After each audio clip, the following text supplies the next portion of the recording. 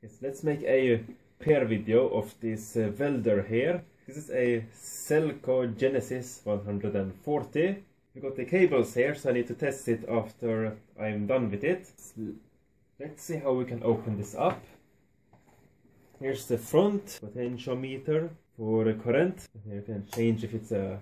Is that a TIG nozzle? Can use this for a TIG as well. So we got some information on the back.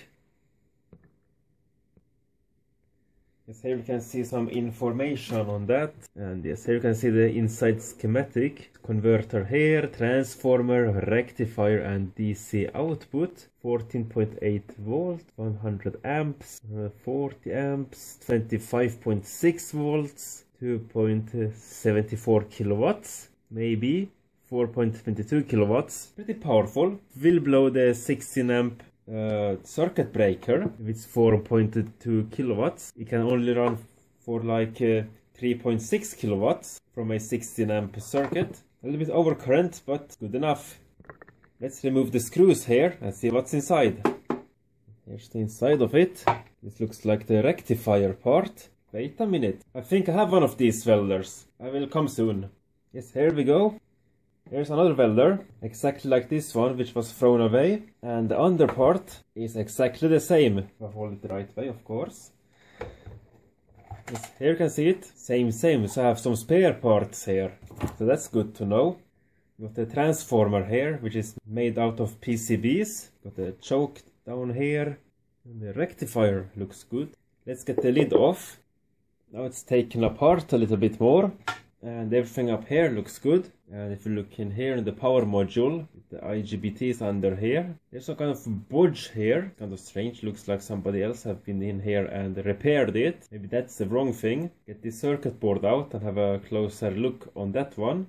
This power comes in here. Got the rectifier here. Filtering capacitors. Common mode choke. Some interference capacitors. Input capacitor so yes, this part looks uh, bodged. And the other one, here's the other one. That doesn't got any bodge. Looks nice and neat here.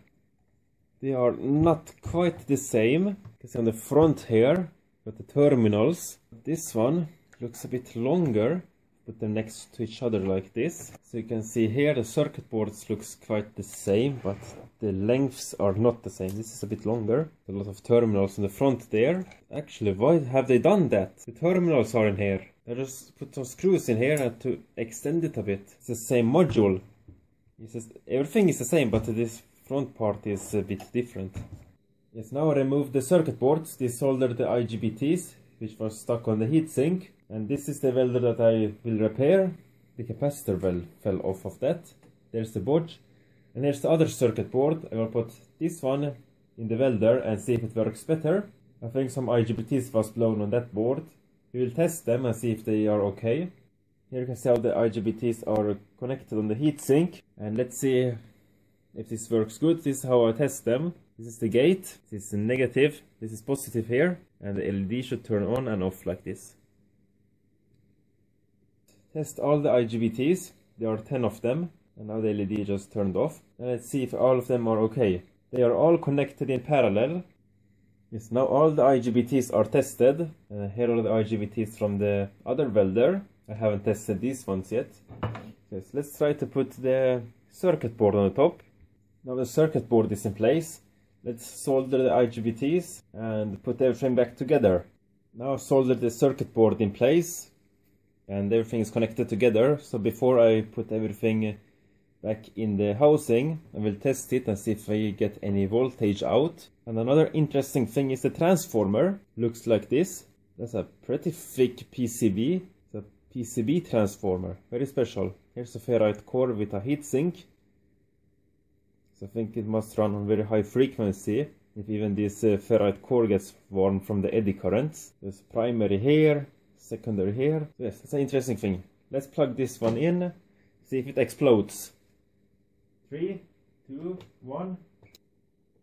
Did the fan turn on? No?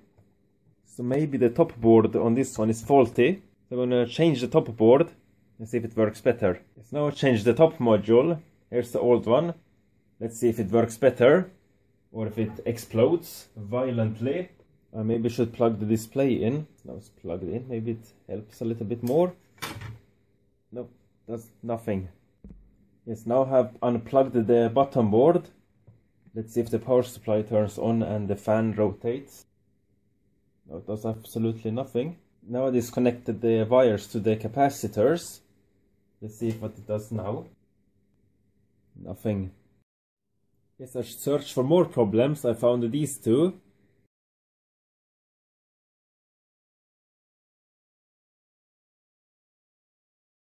This is a MOSFET which was broken, was shorted out.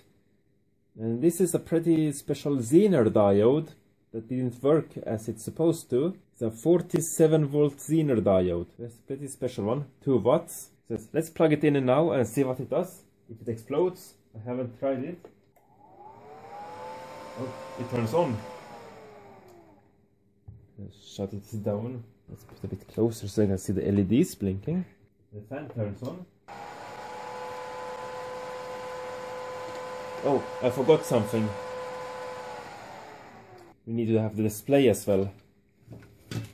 The controller. Oh, out of the scale. 58 volts? Why doesn't it change?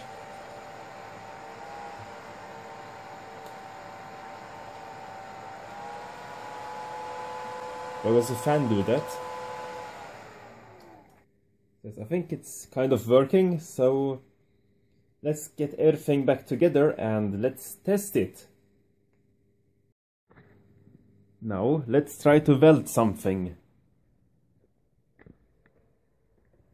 A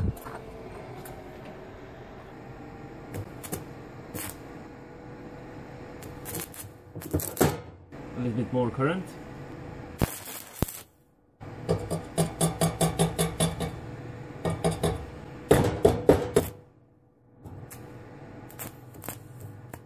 So good at welding as you can see.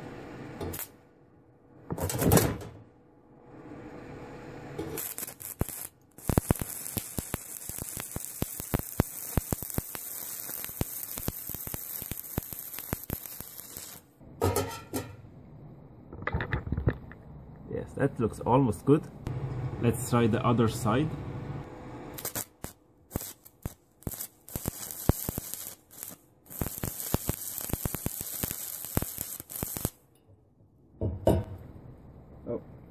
Welder just shut off. I think I blow the fuse. Bit too much current. Fuse in the control board is still okay. So maybe the fuse back here on the isolation transformer. Let's have a listen. Yes.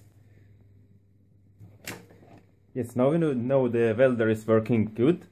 And it blew the fuse on the isolation transformer, which is just 8 amps. Hmm, let's see how much current or power it draws. I'm gonna put the camera here and go out welding.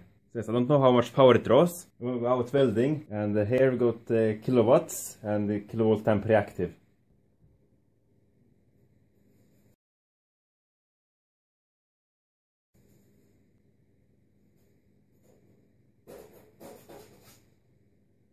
Maybe it looked a bit strange because this happened. I didn't get the electrode off completely welded there. I'm maybe not the best uh, electrode welder. I don't have any or so much opportunities to weld like this. Yes, now we know that this welder is working and that I'm not so good at uh, welding with these uh, electrodes. Yes, let's bring this back and let's see if it uh, works another while. Hope you found this video interesting and thanks for watching.